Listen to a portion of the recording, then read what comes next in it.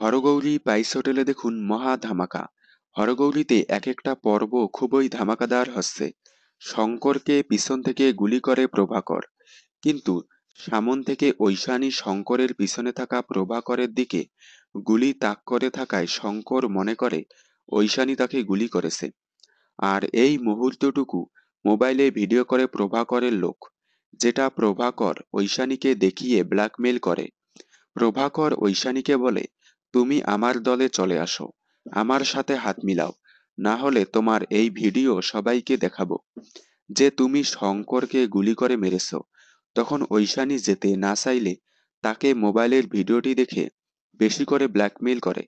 অন্যদিকে হাসপাতাল থেকে মিসিং শঙ্করের মৃতদেহ। যদিও মারা যায়নি শঙ্কর। তবে কোথায় শঙ্কর? তাকে কে লুকিয়ে রাখল?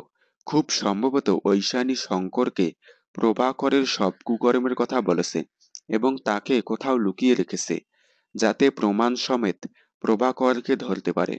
সব মিলিয়ে খুবই ধামাকাদার এপিসোড হচ্ছে হরগৌরী পাইসোটেল ধারাবাহিকে। তাই দেখতে থাকুন হরগৌরী পাইসোটেল। সোম থেকে রবি প্রতিদিন রাত দশটায় স্টার জলসার পর্দায়। ভিডিওটি ভালো লাগলে একটি লাইক দিন। বিনোদন জগতের সকল আপডেট সবার আগে পেতে চ্যানেলটি সাবস্ক্রাইব করে পাশে থাকা বেল আইকনে ক্লিক করে রাখুন। ধন্যবাদ।